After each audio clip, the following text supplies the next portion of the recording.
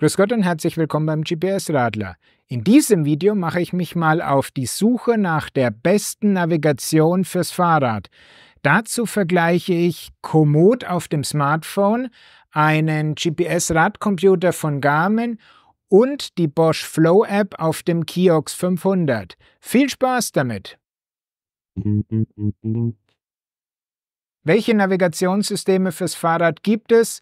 Wie unterscheiden sich die Systeme und welches System führt mich am besten und komfortabelsten zum Ziel? Genau darum soll es mal in diesem Video gehen und ich stelle dir diese Frage anhand von drei unterschiedlichen Geräten vor. Da wäre zum einen mal das Smartphone. Da habe ich mich für die App Komoot entschieden. Hier ist natürlich die Bandbreite am größten. Zum einen gibt es da unterschiedlichste Telefone in ganz großen Preisunterschieden, also von einem ganz billigen 100 Euro China-Gracher bis zum über 1500 Euro teuren Apple iPhone und dazu gibt's noch jede Menge verschiedene Apps. Also ich werde hier hauptsächlich mal auf die am weitesten verbreitete Komoot-App schauen, aber es gibt auch immer wieder Hinweise auf andere Apps.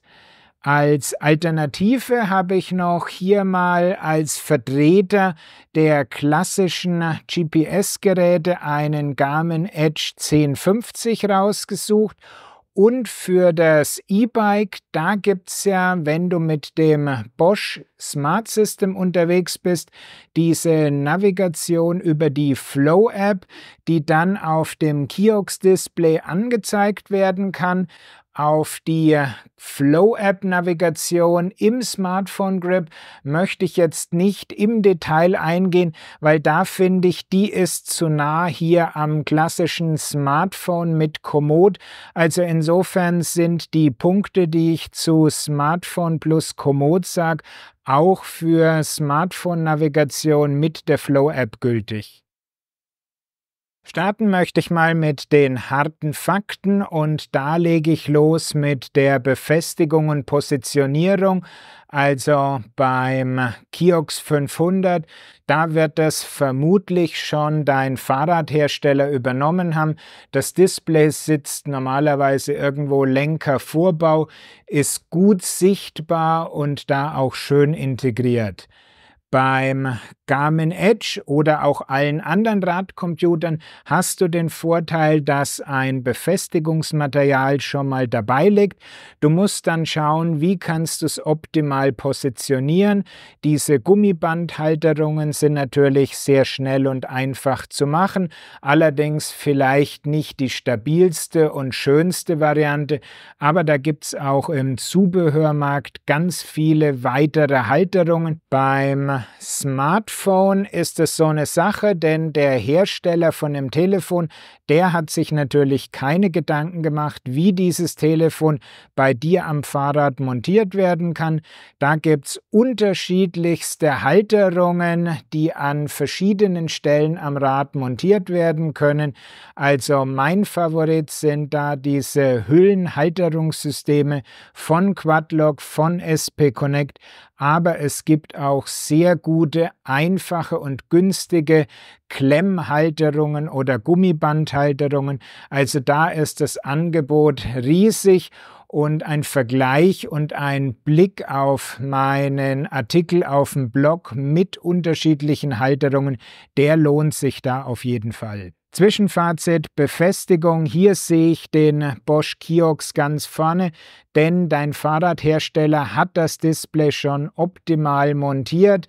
Bei dem GPS-Radcomputer, da liegt immer Befestigungsmaterial bei. Ansonsten gibt es da noch jede Menge Alternativen im Zubehörprogramm und beim Smartphone, da musst du dir Gedanken machen. Es gibt allerdings für quasi jedes Telefon hier eine akzeptable Lösung. Wie können sich die einzelnen Systeme während der Fahrt bemerkbar machen, wenn eine Abzweigung ansteht? Nun, beim Smartphone, da ist ein Lautsprecher eingebaut und die meisten Apps, die unterstützen auch Sprachansagen. Jetzt links abbiegen. Insofern hast du da, wenn du das möchtest, den maximalen Komfort. Bei den GPS-Radcomputern hat der Edge 1050 jetzt als einer der ersten wirklich einen Lautsprecher eingebaut, kann auch ab Werk Sprachausgabe machen. Gipfel voraus. Allerdings die ganzen anderen GPS-Radcomputer, die beschränken sich auf Piepstöne, um auf Abbiegungen oder andere Sachen hinzuweisen. Und beim Kiox 500, da ist ein kleiner Piepser eingebaut. Beim Kiox 300 Display fehlt der noch. Du kannst allerdings auch über die Flow App eine Sprachansage aktivieren. Die wird dann über den Lautsprecher von deinem Telefon ausgegeben. Rechts abbiegen auf Krügerstraße. Zwischenfazit beim Thema Tonausgabe. Ich würde sagen, das Smartphone liegt hier mit seinem Lautsprecher vorne. Normalerweise sind die auch laut genug, während die Piepser bei den GPS-Geräten, die sind in letzter Zeit auch richtig gut von der Lautstärke. Also da hörst du auf jeden Fall den Signalton. Vielleicht fehlt da ein bisschen der Komfort der Sprachausgabe.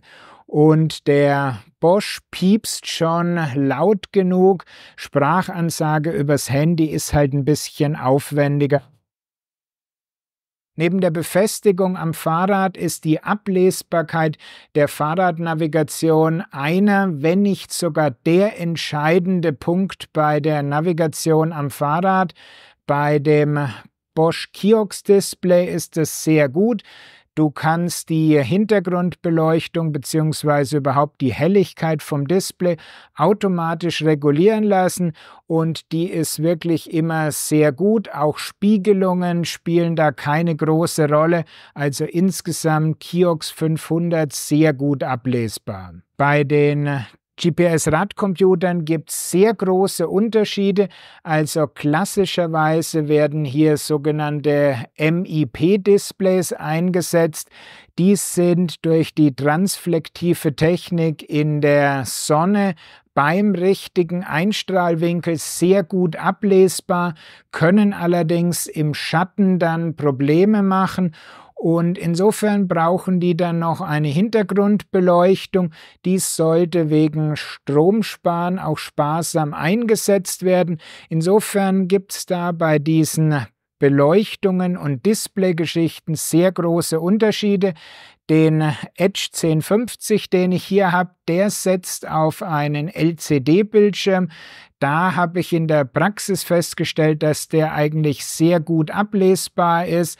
Wenn dir das Video bis hierhin geholfen hat, gib mir einen Daumen hoch. Wenn du mehr solche Videos sehen willst, drück unten auf den Abo-Button. Vergesst die Glocke nicht, dann verpasst du kein zukünftiges Video. Die größten Unterschiede, die gibt es beim Smartphone, weil da kann man eigentlich sehr schlecht hier so pauschal was dazu sagen. Es gibt sehr billige Telefone, die kaum Helligkeit zusammenbringen und die sind dann bei sonnigem Wetter kaum zu lesen und mittlerweile haben wir allerdings das Glück, dass diese hellen Bildschirme auch in den Mittelklasse- bis Einstiegerbereich reinkommt. Also ich habe ja hier das Note 13, dessen Display liefert eine maximale Helligkeit von 1800 Nits. Auf diesen Wert solltest du auch wirklich genau schauen, wenn du ein Telefon für die Fahrradnavigation dir aussuchst, unter 1500 Nits würde ich dir nicht empfehlen. Beim Thema Stromversorgung hat das Kiox 500 Display am einfachsten. Das hängt direkt am großen E-Bike Fahrakku dran. Das bedeutet, solange du Strom zum Fahren hast, hast du auch ein optimal beleuchtetes Display. Kompliziert wird's beim Smartphone, denn hier reicht durch die permanent eingeschaltete Beleuchtung von diesem Display so ein Akku manchmal nur drei bis sechs Stunden gibt auch mittlerweile Modelle, die da deutlich besser sind, aber hier empfiehlt sich schon noch irgendwie das Thema Ersatzstromversorgung zu bedenken. Also da kannst du ganz einfach, unkompliziert und günstig eine Powerbank mitnehmen oder du hängst es über eine Ladeelektronik an deinen E-Bike-Akku dran oder du kannst auch beim klassischen Biobike Strom aus dem Nabendynamo mit einer Ladeelektronik nutzbar machen. Absoluter Spitzenreiter beim Thema Akkulaufzeit ist die GPS-Navigation. Der Edge 1050 hier hat etwa 24 Stunden Dauernutzungsmöglichkeit. Da gibt es auch noch Geräte mit Solar etwa oder von Coros der Dura, die da deutlich drüber liegen und selbst die in Anführungszeichen schlechtesten Geräte, die haben immer noch eine Akkulaufzeit von etwa 10, 12, 14 Stunden. Grundlage einer schönen Fahrradtour ist eine geplante Strecke und da schaue ich mir jetzt mal die Routenplanungsmöglichkeiten der drei Kandidaten an. Beim Bosch-System mit dem Kiox. Da läuft die Routenplanung komplett auf dem Smartphone in der Flow-App. Also hier schon mal erster Nachteil. Es gibt keine Möglichkeit, auf dem großen Computermonitor zu Hause zu planen. Und unterwegs, da stehen dir maximal neun Zwischenziele zur Verfügung. Auch die Bedienung ist nicht so wirklich intuitiv, insbesondere wenn es darum geht, bestehende Wegpunkte nochmal zu verschieben. Und auch die Karten enthalten wenige Zusatzinformationen, die dich bei deiner Routenplanung unterstützen. Insofern rate ich dir hier, plane mit Komoot am besten am großen Computermonitor und dann kannst du das Bosch-System mit Komoot verbinden und unterwegs auf geplanten Komoot-Strecken fahren. Das führt mich gleich zur Planung innerhalb von Komoot. Da hast du sowohl die Möglichkeit, auf dem Smartphone zu planen, als auch zu Hause am großen Computermonitor. Du kannst hier verschiedene Sportarten wählen und dann einzelne Zwischenpunkte setzen, wenn die noch nicht ganz optimal sind oder dir der Streckenverlauf noch nicht gefällt, dann kannst du die auch sehr einfach verschieben. Du bekommst auf der Karte noch Zusatzinformationen, beispielsweise über diese Highlights und hast so ganz viele Möglichkeiten, die für dich perfekte Strecke zu planen. Die so auf dem heimischen Rechner geplante Tour liegt dann auch direkt in der Smartphone-App zur Navigation bereit. Auf dem Garmin GPS Radcomputer stehen dir viele Möglichkeiten der Planung offen. Das geht los bei einer Planung direkt auf dem Gerät. Beim 1050 war die ab Werk drauf. Für die X40 Geräte kam die dann später hinzu. Wirklich überzeugen kann sie mich auf dem kleinen Display nicht auch die Planung innerhalb der Garmin Connect App oder auf dem Garmin Connect Portal im Computer ist möglich. Die Planung ist okay, allerdings nicht ganz so schön und so umfangreich wie bei Komoot. Und auch hier gibt es die direkte Schnittstelle zwischen Komoot und dem Garmin-System. Und so kannst du optimal auf Komoot planen und die Strecken dann auf dem Garmin nutzen. Das Ganze funktioniert übrigens auch für die meisten anderen GPS-Radcomputer. Nahezu alle Geräte haben heutzutage eine Komoot-Schnittstelle. Schnelles Zwischenfazit der Tourplanung. Bosch Flow App für das Kiox Display. Nichts Tolles. Beim Garmin-System auf dem Gerät gefällt mir auch nicht wirklich. Auf dem Computer oder auch auf dem Smartphone ist okay. Top-Planungsbedingungen hier auf dem Handy oder noch besser am großen Computer innerhalb vom Komoot-System. Moderne Connectivity schön und gut, aber unterwegs auf der Radtour ist eine komplette Offline-Funktionalität, sprich ohne bestehende Internetverbindung, immer noch extrem wichtig. Denn was machst du, wenn mal kein Internet beispielsweise auf einer Transalp-Tour zur Verfügung steht? Insofern ist da ein Garmin Edge-Gerät optimal aufgestellt gilt genauso für eigentlich alle anderen GPS-Radcomputer. Das heißt, Routing-Daten sind auf dem Gerät, Karteninformationen sind auf dem Gerät. Du kannst Ziele direkt unterwegs eingeben, Strecken, die sich auf dem Gerät befinden, aufrufen, navigieren. Wenn du dich mal von der geplanten Strecke entfernst, dann gibt es ein Rerouting direkt auf dem Gerät. Bei der Navigation auf dem Smartphone gibt es ein differenziertes Bild. Bei der Komoot-App beispielsweise kannst du zwar Kartenmaterial offline aufs Gerät runterladen, allerdings gibt es keine Möglichkeit, eine Strecke ohne Internet zu berechnen. Also egal, ob du ein neues Ziel eingibst oder du unterwegs die geplante Strecke verlässt und ein Rerouting notwendig wird, in dem Moment braucht Komoot eine Internetverbindung. Aber es gibt für Smartphone auch andere Apps, die komplett offline funktionieren. Beispielsweise ist das Locus Map. Dazu gibt es von mir auch schon ein ausführliches Vorstellungsvideo. Schau mal unten in die Beschreibung rein. Ohne jegliche Offline-Funktionalität kommt das Bosch-System daher. Das betrifft also die Flow-App auf dem Telefon und das Kiox-Display. Du kannst nicht mal Karten auf das Gerät runterladen, also selbst die müssen unterwegs aus dem Internet nachgeladen werden und jegliche Streckenberechnung passiert auch im Internet auf den Bosch-Servern. Schnelles Zwischenfazit, Offline-Funktionalität, beim Bosch-System überhaupt nicht vorhanden. Beim Smartphone kommt es auf die App an. Komoot bietet ein bisschen bei LocusMap oder Osmand, da hast du auch unterwegs volle Offline-Funktionalität und beim Garmin und bei den anderen GPS-Radcomputern hast du alles dabei und insofern beste Voraussetzungen für Navigation abseits des Mobilfunks werfe ich mal einen Blick auf die Kosten. Da kommt natürlich beim Garmin Edge-Gerät, genau wie bei allen anderen GPS-Radcomputern, erstmal die Anschaffungskosten. Im Bereich von 250 bis 700 Euro liegen die. Danach hast du allerdings keine laufenden Kosten mehr. Die günstigste Navigation bekommst du beim Bosch.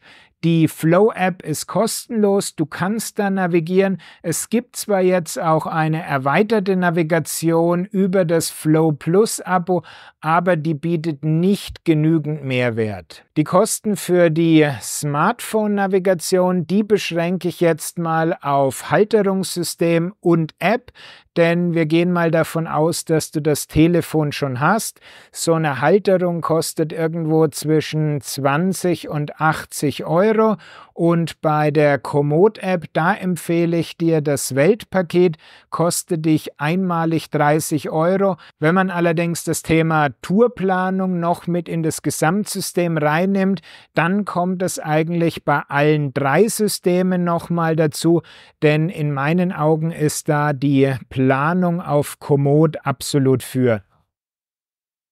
Für die eigentliche Navigation unterwegs nehme ich dich jetzt mal mit auf drei Probefahrten mit den drei unterschiedlichen Systemen. So schaut die Navigation auf dem Garmin Edge Gerät aus. Eine Linie auf der Karte mit Abbiegepfeilen und Entfernungsangabe zum nächsten Manöver. Wenn du mal eine Abzweigung verpasst, berechne der Garmin intern eine Alternative, in Fahrtrichtung zurück auf die Strecke. An der Stelle löse ich jetzt hier mal die Karte und dann kann man die verschieben, zoomen und sich zur Orientierung auf dieser Karte bewegen. Auf der Bosch Kiox Navigationsseite bekommst du die geplante Strecke als weiße Linie dargestellt, die grauen Striche stellen Querstraßen dar Verpasst du eine Abzweigung, berechne die Flow-App online eine Alternative zurück zur Strecke. Du kannst auf dem Kiox-Display weder den Maßstab verändern noch die Anzeige verschieben. Dazu müsstest du das Telefon rausholen und dir in der Flow-App die Karte anschauen. Bei Komoot wirst du über eine deutliche Linie und Abbiegepfeile auf der Karte entlang der geplanten Tour geführt. Dazu gibt es Abbiegehinweise am oberen Bildschirmrand und Sprachansagen. Jetzt rechts abbiegen.